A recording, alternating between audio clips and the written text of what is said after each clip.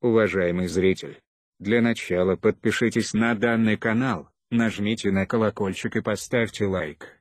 Спасибо, смотрящий по Беларуси вор в законе Щулик. Есть в криминальном мире истории страшные и жестокие, есть, запутанные и увлекательные. А есть, такие, как биография белорусского вора в законе Щевляка, с загадкой, на которую так и не нашлось ответа. Дело в том, что у этого человека нет даты смерти, хотя он официально считается умершим, и до сих пор никто не знает, чем на самом деле закончилось, а может, еще и не закончилось.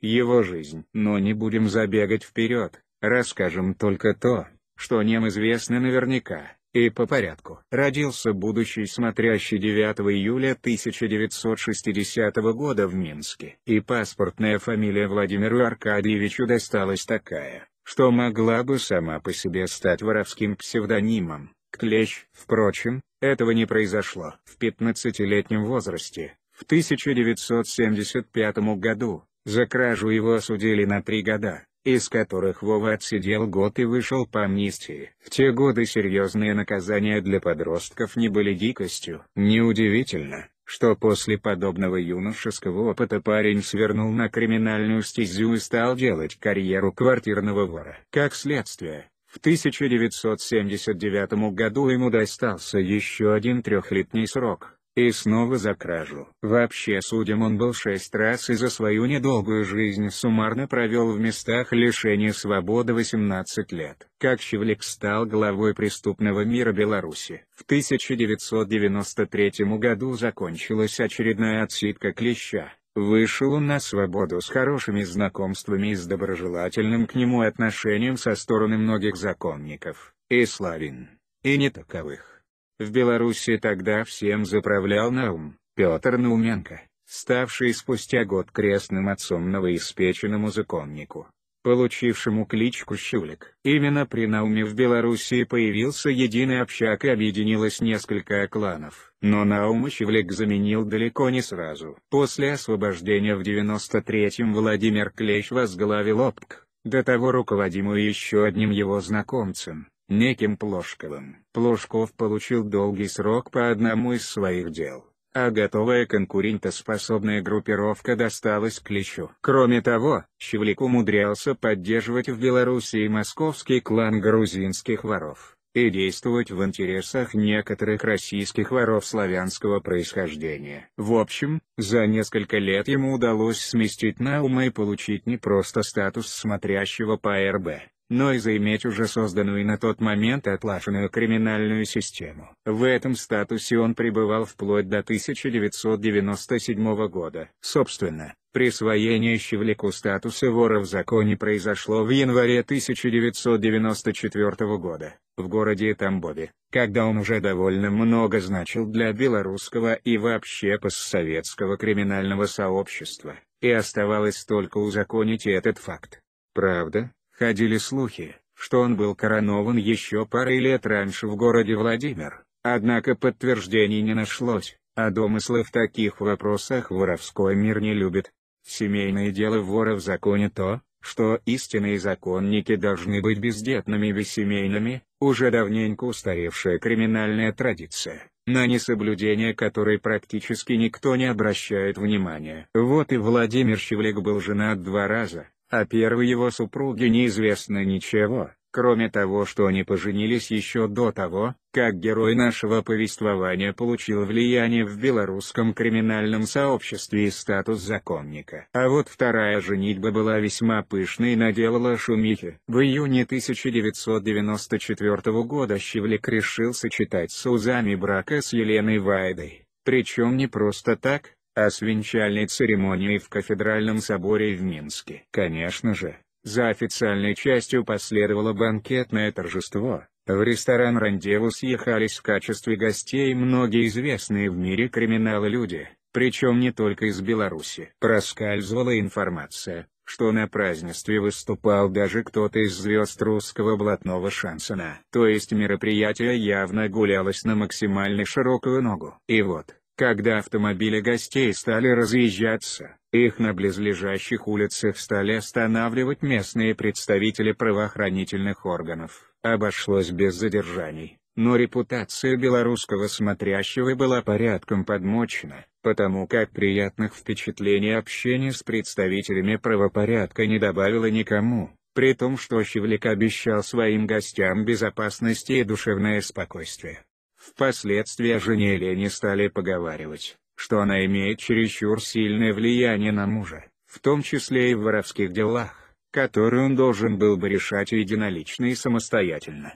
Исчезновение без вести, события, догадки и версии. В сухом пересказе события, развернувшиеся вечером 10 декабря 1997 года, выглядели так. Приблизительно в 8 часов вечера Владимиру Щевляку, находившемуся дома с семьей, кто-то позвонил по мобильному телефону. Уже в те годы влиятельный авторитет владел такой техникой, но диалога никто не услышал. Очевидно, Владимир Аркадьевич просто молча выслушал позвонившего. Затем он накинул куртку поверх домашней одежды и буквально в тапочках вышел из своей минской квартиры, пояснив домашним, что выйдет отогнать стоящую во дворе машину. И после этого Владимира Клеща не видел никто. Встревоженная жена через пару часов позвала, разумеется, не милицию, а знакомого семьи, человека, занимавшегося взломом, и, соответственно, закрытием замков. Его она попросила закрыть дверь автомобиля. Супруг Елены пропал, очевидно, с единственным комплектом ключей от авто. Вечер был снежным, и быстро приехавший знакомый увидел следующее, стоящую нараспашку машину, без следов потасовки или еще чего-либо, только с крошечной каплей крови на сиденье водителя. А по свежевыпавшему снегу к автомобилю вели следы одного человека, самого Владимира в тех самых домашних тапочках. Ни других следов, ни следа от вытащенного из машины тела. Ничего, словно человек сел на водительское сиденье, укололся обо что-то и растворился в воздухе. Ни живым, ни погибшим Владимира Клеща не нашли. Десять лет спустя суд постановил считать его мертвым. Конечно, озвучивались версии. Наиболее раскрученная, о спецоперации белорусского правительства, настроившегося серьезно бороться с криминалитетом. Ее предлагают подтверждать цитаты президента Лукашенко о том, что он не позволит создавать кому-либо криминогенную обстановку в государстве, как всякие там щевляки, которые неправильно себя повели. Но Лукашенко сказал это спустя четыре года после событий. То есть, пометуя о том, что этот политик вообще любит эффектно высказаться. Он мог просто подогнать давний факт под повестку дня 2001 года. Впрочем, есть и другие аргументы, схожие смерти нескольких воров, политиков и высших чиновников. Несколько человек исчезло с минимумом следов, в основном тоже из машин. Но были и другие версии, дескать, Щевляк увел общак и либо инсценировал свое исчезновение, либо был покаран своими же за это. Была и версия его попытке прибрать к рукам нефтяной бизнес, в связи с чем так якобы могли обезопасить себя от его посягательств нефтяники. Как бы то ни было, уже более 20 лет в этом деле не появляется новых фактов. И Владимир Аркадьевич Клещ считается умершим. Есть в криминальном мире истории страшные и жестокие, есть, запутанные и увлекательные, а есть, такие, как биография белорусского вора в законе Щевляка, с загадкой, на которую так и не нашлось ответа. Дело в том, что у этого человека нет даты смерти, хотя он официально считается умершим, и до сих пор никто не знает, чем на самом деле закончилось, а может, еще и не закончилось. Его жизнь. Но не будем забегать вперед, расскажем только то, что нем известно наверняка, и по порядку. Родился будущий смотрящий 9 июля 1960 года в Минске. И паспортная фамилия Владимиру Аркадьевичу досталась такая, что могла бы сама по себе стать воровским псевдонимом. Клещ, впрочем, этого не произошло. В 15-летнем возрасте, в 1975 году, за кражу его осудили на три года, из которых Вова отсидел год и вышел по амнистии. В те годы серьезные наказания для подростков не были дикостью. Неудивительно, что после подобного юношеского опыта парень свернул на криминальную стезю и стал делать карьеру квартирного вора. Как следствие, в 1979 году ему достался еще один трехлетний срок. И снова за кражу. Вообще судим он был шесть раз и за свою недолгую жизнь суммарно провел в местах лишения свободы 18 лет. Как Щевлик стал главой преступного мира Беларуси. В 1993 году закончилась очередная отсидка клеща. Вышел он на свободу с хорошими знакомствами и с доброжелательным к нему отношением со стороны многих законников, и славин, и не таковых. В Беларуси тогда всем заправлял Наум, Петр Науменко, ставший спустя год крестным отцом новоиспеченному законнику, получившему кличку Щулик. Именно при Науме в Белоруссии появился единый общак и объединилось несколько кланов. Но Наума Щевлик заменил далеко не сразу. После освобождения в 93-м Владимир Клещ возглавил ОПК, до того руководимую еще одним его знакомцем, неким Плошковым. Плошков получил долгий срок по одному из своих дел, а готовая конкурентоспособная группировка досталась Клещу. Кроме того, Щевлик умудрялся поддерживать в Белоруссии московский клан грузинских воров и действовать в интересах некоторых российских воров славянского происхождения. В общем, за несколько лет ему удалось сместить Наума и получить не просто статус смотрящего по РБ, но и заиметь уже созданную на тот момент отлаженную криминальную систему. В этом статусе он пребывал вплоть до 1997 года. Собственно, присвоение Щевляку статуса вора в законе произошло в январе 1994 года, в городе Тамбове, когда он уже довольно много значил для белорусского и вообще постсоветского криминального сообщества, и оставалось только узаконить этот факт. Правда, Ходили слухи, что он был коронован еще парой лет раньше в городе Владимир, однако подтверждений не нашлось, а домыслы в таких вопросах воровской мир не любит. Семейное дело вора в законе то, что истинные законники должны быть бездетными и бессемейными, уже давненько устаревшая криминальная традиция, на несоблюдение которой практически никто не обращает внимания. Вот и Владимир Щевлик был женат два раза, о первой его супруге неизвестно ничего, кроме того что они поженились еще до того, как герой нашего повествования получил влияние в белорусском криминальном сообществе и статус законника. А вот вторая женитьба была весьма пышной и наделала шумихи. В июне 1994 года Щевлик решил сочетать с узами брака с Еленой Вайдой. Причем не просто так, а с венчальной церемонией в кафедральном соборе в Минске. Конечно же, за официальной частью последовало банкетное торжество. В ресторан «Рандеву» съехались в качестве гостей многие известные в мире криминалы люди, причем не только из Беларуси. Проскальзывала информация, что на празднестве выступал даже кто-то из звезд русского блатного шансона. То есть мероприятие явно гулялось на максимально широкую ногу. И вот, когда автомобили гостей стали разъезжаться, их на близлежащих улицах стали останавливать местные представители правоохранительных органов. Обошлось без задержаний, но репутация белорусского смотрящего была порядком подмочена, потому как приятных впечатлений общения с представителями правопорядка не добавило никому,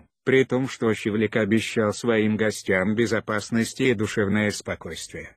Впоследствии о жене Лене стали поговаривать, что она имеет чересчур сильное влияние на мужа, в том числе и в воровских делах, которые он должен был бы решать единолично и самостоятельно.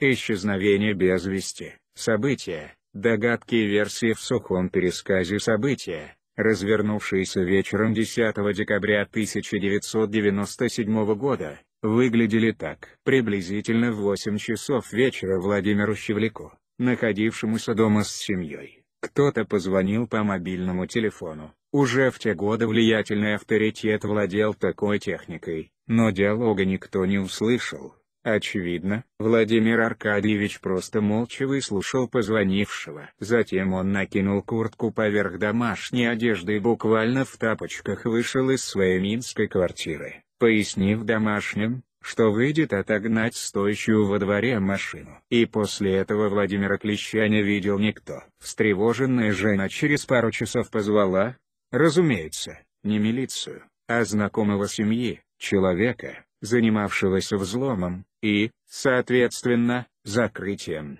замков. Его она попросила закрыть дверь автомобиля. Супруг Елены пропал, очевидно, с единственным комплектом ключей от авто. Вечер был снежным, и быстро приехавший знакомый увидел следующее. Стоящую нараспашку машину, без следов потасовки или еще чего-либо, только с крошечной каплей крови на сиденье водителя. А по свежевыпавшему снегу к автомобилю вели следы одного человека, самого Владимира в тех самых домашних тапочках. Ни других следов, ни следа от вытащенного из машины тела, ничего, словно человек сел на водительское сиденье, укололся обо что-то и растворился в воздухе.